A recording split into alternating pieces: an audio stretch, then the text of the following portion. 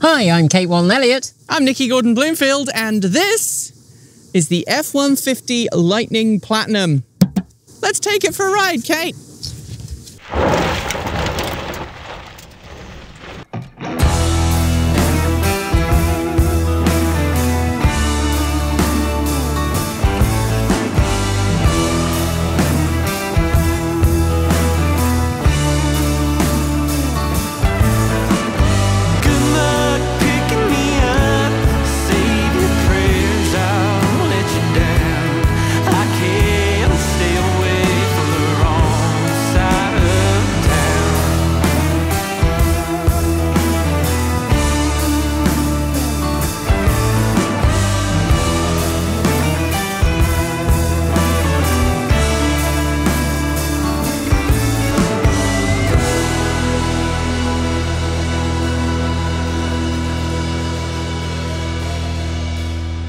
So, big F 150 Lightning, Kate. You look, um. You look indifferent behind the wheel. Yeah, I've driven a lot of vans and trucks through the years, and yes, this drives very well. I mean, not on this kind of road. This kind of road, it you feel like you're in a large boat. It's wafty. It It's, is. It soaks up the majority of the bumps, but because it's got such a big set of springs and such a lot of suspension travel, it doesn't exactly keep you firmly in your seat on corners. No, no, that it does not. But it does handle or ride very well for a truck. Yeah, I mean, the, this truck is built with a large suspension travel, right? So it's going to be quite bouncy on on curves and twisty roads like this, but that's not really where it's meant to be. And unlike the Rivian R1T, which handles equally well and is substantially smaller and easier to maneuver on roads like this, the Rivian has a whole load of air suspension and, and smart suspension and a lot of technology in that part of the truck where the F 150 Lightning just has old fashioned springs and dampers and struts and I think it is a really well judged vehicle because the Ford F 150 is America's best selling truck. And it's replacing that with an electric vehicle. For the majority of those people, that F 150 is not being used to carry massive loads or being used to tow a large trailer or anything like that. They might be using it occasionally to tow a boat. Right. Ford has said through its own research that the majority of pickup truck drivers do tow with their vehicles, but most of them only tow across town or a couple of hours. They're not towing cross country like I've done with my own F 150 Lightning and it did just fine. Designing a truck that has a familiarity for existing pickup truck owners is very important, I think, because there's nothing about this truck that would put off a hardened pickup truck fan, other than maybe the lack of hearty V8 under the bonnet. And instead, you've got that massive mega power frunk with all of the functionality that Ford has built into that. And you've got incredibly low running costs. You have. I mean, the maintenance costs on an F 150, if you're really using it a fair amount, are going to be pretty high. And the maintenance costs on this are going to be negligible. I think designing the F 150 Lightning and making sure that the bed and other components within the F 150 were interchangeable with internal combustion and hybrid F 150s has meant that the F 150 Lightning has been really a, a, a genius design move by Ford. You can buy pretty much any accessory that will fit in an internal combustion engine or hybrid F 150 and install it in the bed of the truck. And that's helped keep costs down, but it's also ensuring a familiarity that a lot of customers have is continued. Yeah, and being able to transition those accessories. I mean, that actually is a big financial investment, particularly for fleets or people who have multiple trucks in their business. Mm-hmm. That's an enormous financial investment in the accessories. And that kind of decision to, to make it compatible does really breed that kind of loyalty to, well, they've supported me, my truck's been good, I want another one, I'm just going to get the electric version of the truck I already mm-hmm. know. Mm-hmm.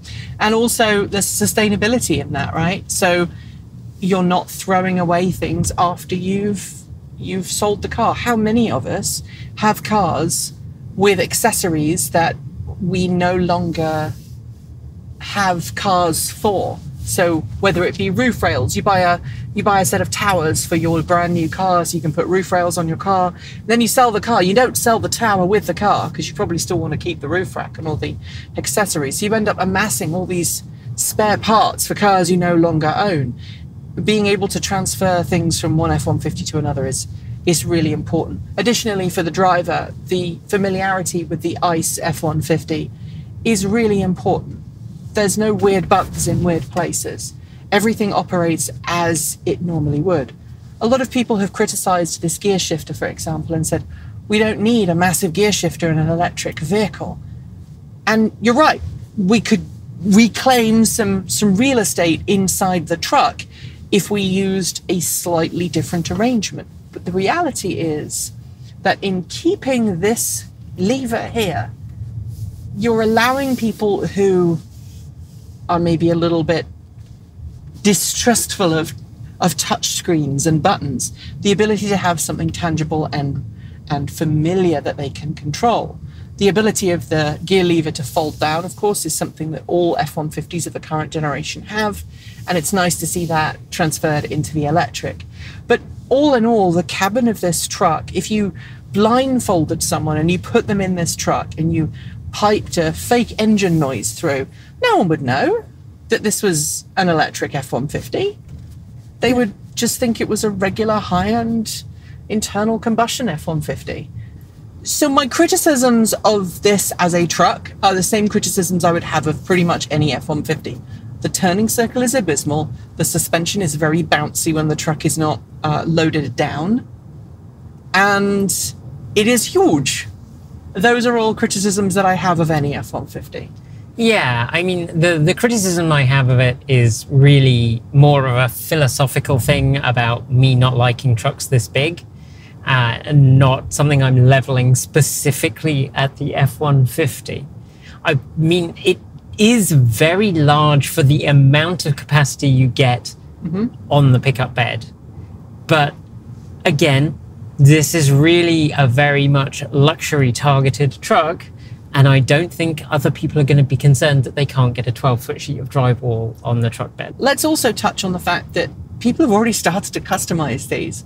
Someone on one of the F-150 Lightning forums has put Raptor wheels on it. It gives them a, a few extra inches of ground clearance. It gives them a slightly more ruggedized looking truck. It drives the same.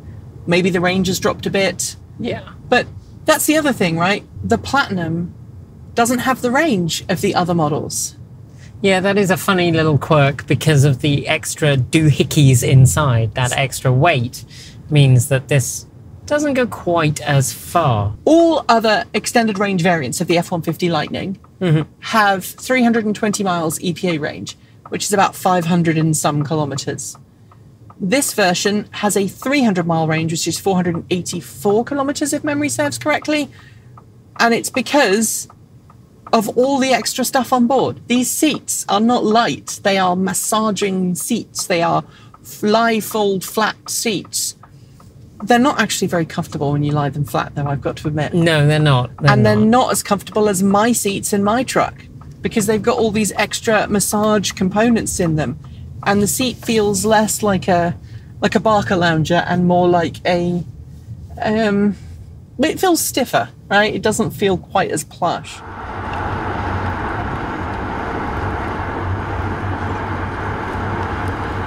The fact that we've been able to to drive this around town and we've been able to drive it on the freeway and drive it through country i think is a real testament to how this truck can can really perform in a variety of different situations And one of the things that's nice when you're driving an EV that is laden is that it is not work. Like driving a gas vehicle, driving a diesel truck, even if it's got a lot of torque low down, you still have to work. You're still shuffling through the gears, you're mm-hmm. still you're still very much aware of I have a lot of stuff that I'm towing or I have a lot of weight on board. And yeah, I put 900 pounds of bark chip in the back and it drove pretty much exactly the same as it did without 900 pounds bark chip in the back. And you know what I really like about this?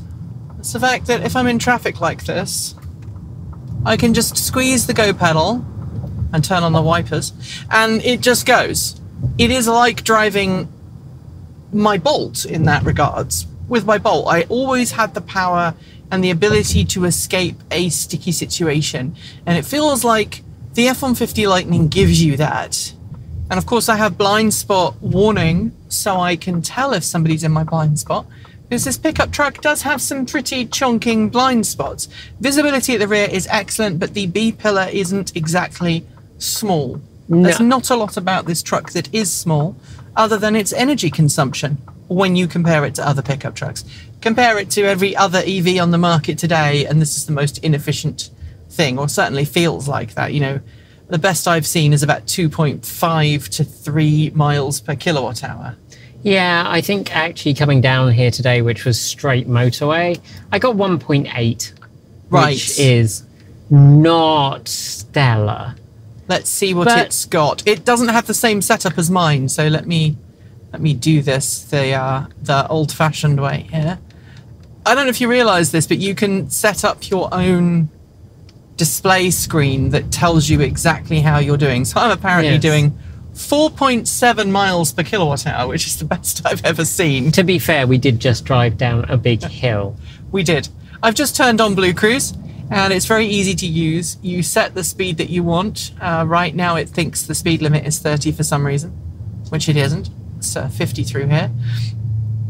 You set the speed limit, and off it goes, and it follows the car in front.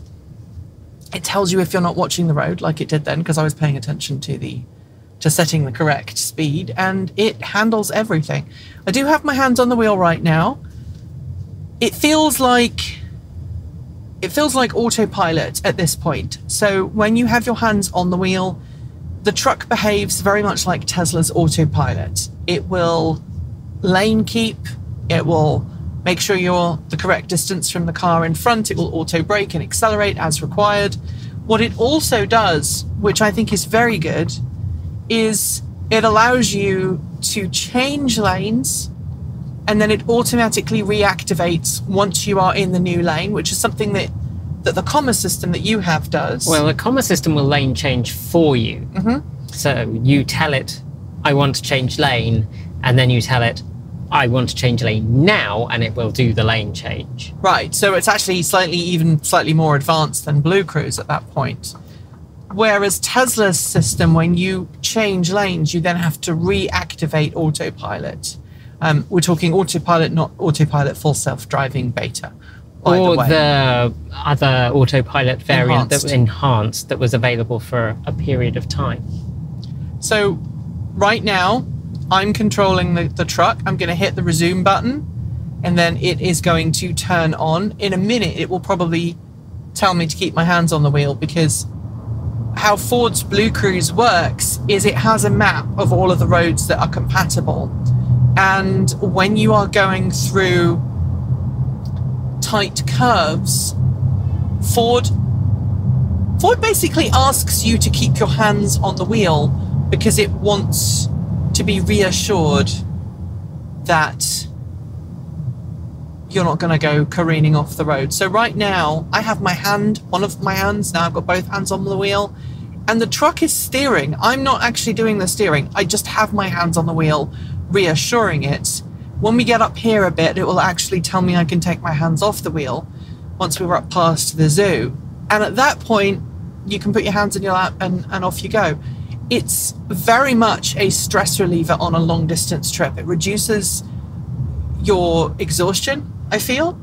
And it is a very competent safety feature. Now, sometimes it struggles. There's a bridge into Washington State on the I 5 that it really does not like. Going over, it will pretend it's doing fine and then it gets second thoughts, yes. gets very upset. yes, it does. When you are coming up to certain off ramps, it sometimes has a moment where it second guesses where you should be in terms of lane position, but it's getting better and better and better, just like Tesla Autopilot. And I think that this feature is extremely competent and is better in this truck than it was in the Ford Mustang Mach E that we drove last year. Yeah, I definitely feel like you can see the trajectory with it and it is improving. Presumably, it's improving with the over the air updates. Although, as you've commented, the notes on the over the air updates are just like, we fixed stuff. Yay! Yeah, so there was one update where Ford basically went, We fixed stuff, enjoy. And then the second update we had, the over the air update, was much better. It said, Yeah, these are the things we fixed, and it was much more verbose. So I don't know if that first one was just a test or if they had a different engineer on staff that day who wrote better release notes. I don't entirely know. Let's talk about this massive screen because this is overkill, right? Yeah, I really don't like it very much. It just feels like they took a big tablet and they stuck it in because Tesla has a big tablet and mm. everyone else has a big say, tablet. yeah. And it doesn't really add that much to the experience. It just kind of detracts for me because I have to look down to operate the climate controls. It's there are lots of buttons. There are lots of buttons which I like very much, but then the thing that I most want buttons for is the climate control, Right. and it doesn't have that. As you noticed, I turned the screen off, and that's something that's important to note. You can turn it off if it's too much of a distraction. You just press and hold that that ring button there, uh, the volume knob, and it goes to that kind of sleep screen, which I think at nighttime is going to be useful because I don't like bright screens at nighttime. The other thing that is, you know, very important to note is that these touch screens are not always the easiest to use because there's no tactile buttons. It's not a case of glancing down and touching it. Because this version of the truck has hands free, I think it's maybe a little safer to be able to just glance down and touch it.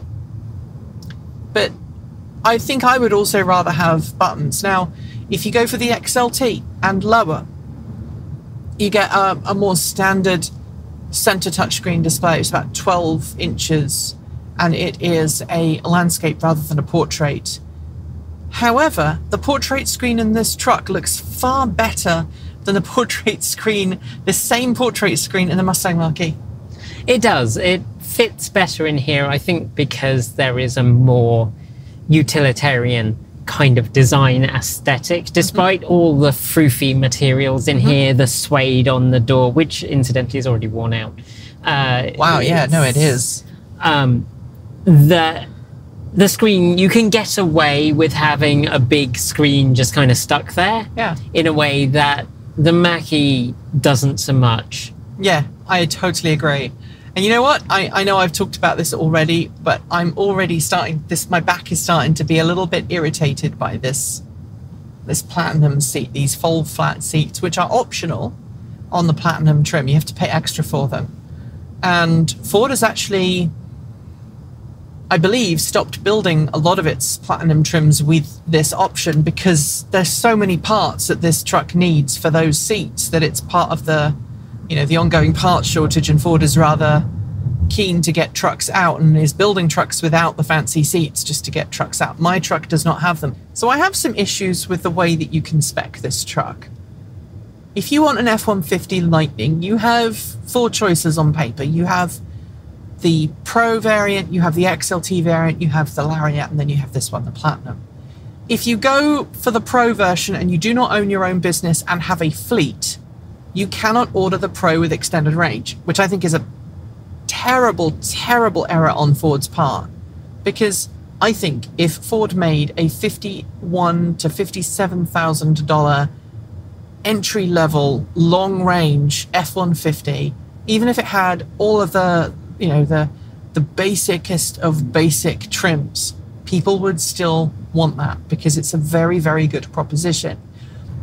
So if you want an extended range, you have to buy the XLT, but the XLT extended range is t- nearly $20,000 more than the standard range XLT which is, by the way, why we ended up getting the Lariat. Because if I wanted an extended range XLT, it would have cost me about seventy-one, seventy-two thousand dollars when I bought the truck. So now like seventy-seven, whatever.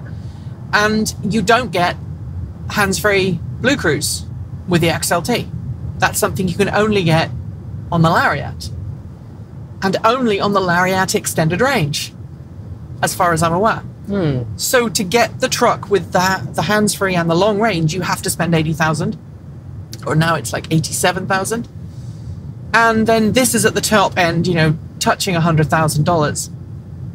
Because of that, it's very difficult to recommend that that this is a good work truck. The entry level version is is almost intentionally crippled to the point that you have to be content with having a shorter range in order to buy one. part of that is probably that Ford know that they'll make more profit on the fancier trucks. But part of it is they have a first mover advantage. They are really in a place where there is no competition for that work truck segment. That half ton work truck, yeah, because the Rivian R1T is more expensive. Yeah. and it's not a it's a lovely truck but it's not a work truck this is the closest thing we've seen to date to a work truck but let's not kid ourselves i think the silverado ev is not going to be a work truck No. the hummer ev is not a work truck and the tesla cybertruck no matter what you say is not a work truck i think the f-150 lightning is the closest and I hope that for future model years, Ford reconsiders and makes an extended range Pro trim available to anyone who wants to buy it. Because I genuinely believe Ford would have sold lots of them.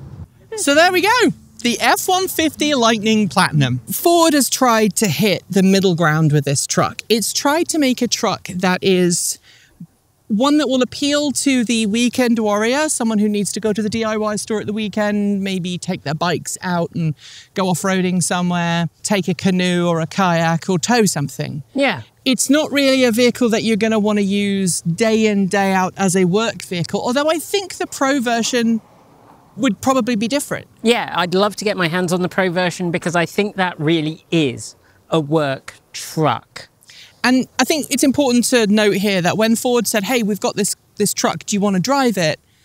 we undernerd a lot because i own as i've mentioned several times i own the lariat the next level down. But i wanted kate to experience this. I thought that it would be better for us to review a vehicle that wasn't my own because i've made some modifications to mine. And we did say to ford do you have a pro? And they said no not at the moment they are aware of it ford knows that we want to review one and fingers crossed we will get a pro at some point which is vinyl seats very functional Yeah. and about half the price, more than half the price, in yeah. fact. And I can see that being really popular with fleets. I can see that being a vehicle that really resonates with people who need it as a work truck. This is much more of a leisure vehicle and it's very good at that. The ride uh, from the independent rear suspension, incredible. One of the best pickup rides I've ever experienced. Close to the Rivian R1T, they both have strengths and weaknesses in their handling. The Rivian R1T blows this out of the water when it comes to off road capabilities, but on the flip side, the R1T has all of that air suspension and all of that fancy suspension componentry and wizardry that can raise the truck up and lower it down, which, much like the Hummer pickup, could go wrong. This is just basic physics. Yeah. And that's something I think we have to say good on Ford for, for not trying to make this more complicated than it needs to be. I think Ford do a really good job of keeping things simple on the mechanical front. Helps keep the cost down, helps keep it not so much in this trim, but in the lower trims, much more affordable, which I think is really important. I think also from a styling point of view, Ford needs to be praised for keeping fairly true to the original F 150. But we do also have an issue with the fact that it is massive. And there are lots of people in lots of markets that aren't the US and Canada. There are lots of people in the US and Canada who are like, I like this idea, but this is about 20, 30% bigger than it needs to be. Yeah, yeah, absolutely. And Maverick, if that comes out as electric, that is going to be such a great vehicle when that's when that's ready for the market.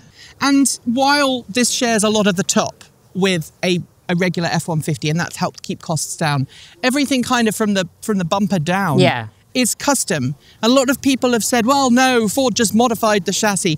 Honestly, if that's what Ford did, it did a really good job. Yeah. A lot of people, a lot of critics who haven't actually driven the F 150 Lightning say it's a compromised vehicle and it's never going to be any good. But there's nothing behind the wheel that makes me think this is a compromised vehicle. No, it is, as you said, it is the best vehicle I have driven that's a pickup. I have driven several pickups, I've driven a lot of trucks over the years. This is the best, which If- I hate to say it because it's huge and I think it's oversized and all the kind of things that I say because I'm British and I think cars should be small. And based on the feedback that people are getting from, I'm, I'm hearing from Rivian owners, if I had to choose between a Ford and a Rivian, while I think the Rivian is, is a better execution for most people, I don't think I would put my own personal money behind Rivian because Rivian is still growing. It's still having all of those teething problems with parts, with things breaking. I've seen multiple videos of people complaining about things breaking or not having things work in the way they want because Rivian is a startup and it's dealing with startup things. Ford's just like, it's making mistakes. By golly, it's making mistakes, but it seems to own them in a different way. Yeah.